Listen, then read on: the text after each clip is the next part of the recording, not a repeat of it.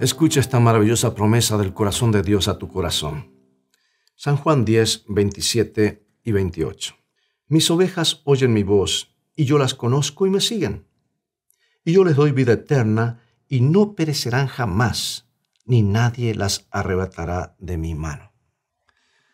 Muchos de los habitantes del mundo occidental en la actualidad se burlan del concepto de vivir para siempre, como si se tratara de, un cuento de hadas que nos llegara de épocas del oscurantismo. Vivir para siempre. Sabemos que se puede vivir mejor, ¿verdad? Podemos tener una mejor higiene, podemos tener mejor medicina, y algunas personas incluso pueden llegar a más de 100 años. Pero todos sabemos que llegará el día en el que no podremos vencer a la muerte. No hay ni una sola persona nacida en el siglo XVIII que siga viviendo hoy. Sin embargo, y a pesar de ello, no hemos abandonado la idea de vivir para siempre, ¿no es cierto? De vez en cuando escuchamos que los científicos están en búsqueda de lo que ellos llaman el gen del envejecimiento, o sea, el mecanismo que hace que nuestros cuerpos detengan el proceso de crecimiento y comiencen a deteriorarse.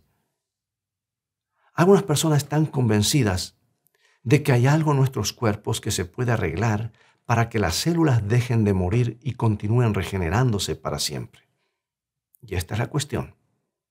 Escucha bien, ¿por qué será que tenemos fe en nuestra capacidad para buscar las causas del envejecimiento, pero eliminamos la posibilidad de que un Dios todopoderoso, que puso el universo en movimiento, pueda saber qué hacer exactamente para mantenernos con vida para siempre?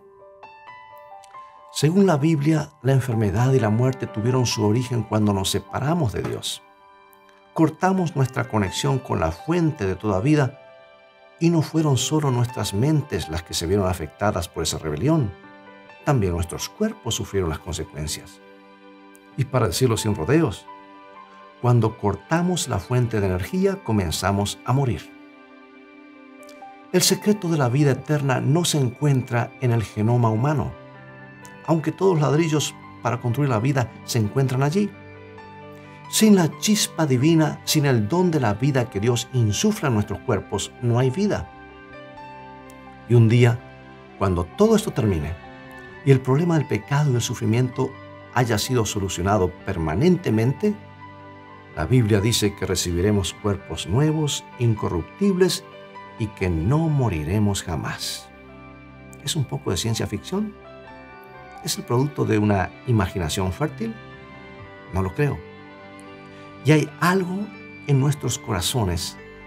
Hay una memoria del Edén, una sensación inspirada por Dios de que nuestra experiencia finita llegará a ser infinita, que no nos permite abandonar la idea de que no es necesario que muramos para siempre.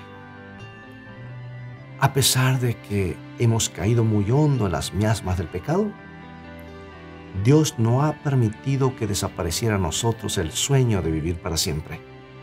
No lo ha permitido porque todavía continúa siendo posible. Puedes vivir para siempre realmente.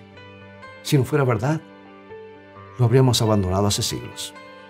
Hubiéramos dejado de luchar contra la oscuridad y hubiéramos aceptado que no hay ningún remedio para la muerte.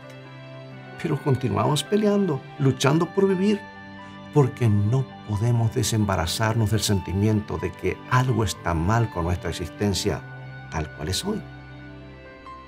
Nada de esto tiene sentido si no lo aplicas a tu experiencia. ¿Sabes? Los cristianos han sido acusados de desdeñar sus vidas en este mundo porque invierten todo su ser en pro de un lejano futuro eterno. Pero podríamos también pensarlo de otra manera. El deseo de vivir es un don de Dios. Es un recordatorio de que no fuimos creados para la muerte. Nuestro sentido de eternidad nos da la esperanza de que nuestra existencia, a pesar de los estragos del pecado, tiene algún significado. Y amigo y amiga, mantener esa esperanza es realmente una mejor manera de vivir.